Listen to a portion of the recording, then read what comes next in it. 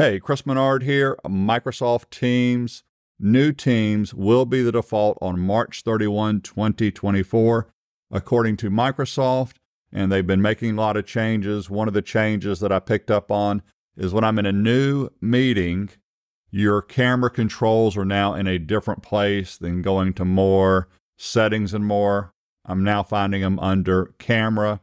Before I show you these features, feel free to subscribe to my channel also, my Microsoft Teams online training course, over three hours of material, is available. Let's dive into these camera controls in a meeting. I'm already in a Microsoft Teams meeting. I want to show you that they've moved a couple controls here. If I come over here to camera and click, here are some of my camera settings now. So I'm using my Canon camera I know it doesn't say camera, that's my Canon camera. I could swap over to my Logitech camera. Let me do that real quick.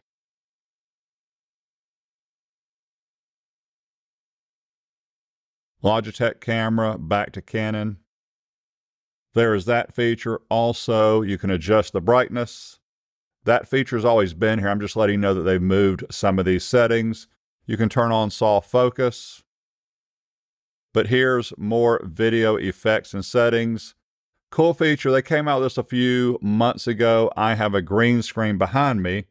You can now see your green screen. So right now, no big deal because I'm using the green screen, but if I hit more video effects and settings, here's my example. If I pick this one right here, hit apply, watch what happens.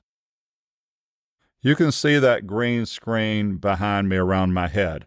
So I have this green screen settings feature. When I click it, I'm going to tell Microsoft Teams, yes, I have a green screen.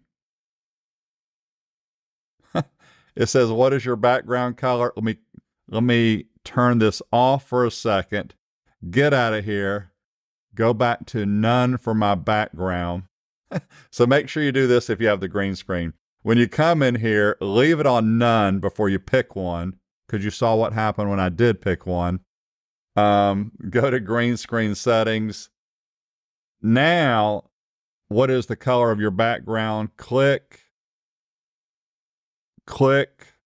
I've selected the color of my background. Now, when I come over here, same one I picked before, hit apply. Slightly better. So there's your green screen option right there.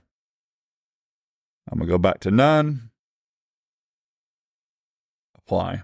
Hope you enjoyed this video. My Microsoft Teams online training course is available over three hours of material, and I am replacing the Teams Classic. Teams Classic is going away, and I'm adding all the new, the new Teams, which at some point will just be Teams. Thank you for your time. Have a great day.